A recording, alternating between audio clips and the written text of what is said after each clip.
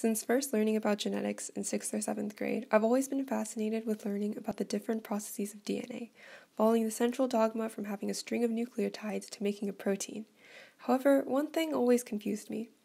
To make a protein, you start out by creating mRNA from the gene that corresponds with the protein. In humans, plants, and other eukaryotes, the mRNA goes through a processing stage before binding with ribosomes to actually make the protein with amino acids. Go back to RNA processing, which usually involves three steps adding a 5' cap to one end, a poly A tail to the other, and splicing exons. If we focus on the exons, DNA and consequently mRNA is divided into sections called introns and exons. In mRNA processing, a molecule called a spliceosome cuts up the mRNA into introns and exons and then sticks the exons together. With the introns gone, the mRNA is now mature mRNA and can go on to make a protein after the other processing steps are completed. At this point, my textbooks went on to talk more about translation, but what about introns? Why are they still encoded in DNA if they're only ever going to be cut out before being turned to proteins? As it turns out, a lot of scientists were also asking these questions. For a while, we didn't know anything about introns and just disregarded them as mysterious junk DNA.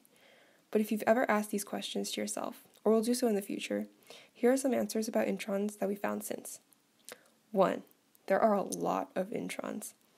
Intron sequences are 25% of the human genome, four to five times the size of exons. In individual genes, introns occupy around 40% of the total length on average, but they can also go up to 99% in many genes. This means that most randomly occurring mutations should fall into intron regions without affecting the protein sequences and functions. Though it should also be pointed out that the extent of the evolutionary advantage of this feature isn't all that clear. 2.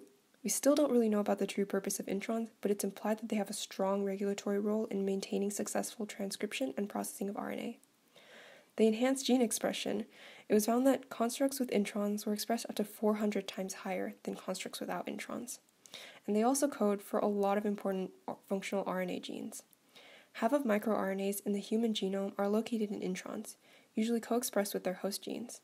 Small nucleolar RNA and other regulatory non protein coding RNAs are found in introns as well. 3. It's also thought that introns could act as spacers between coding regions that help to produce new sequences for new types of proteins if shuffled. This derives from observations that intron positions seem to be conserved in many different organisms, like fruit flies, mice, C. elegans, and even humans. It's amazing how what was once thought of as junk DNA actually influences so many parts of genetics from regulating transcription to forming the sequences themselves. But even though we know more now, there's still a lot to explore about introns and their place in our DNA.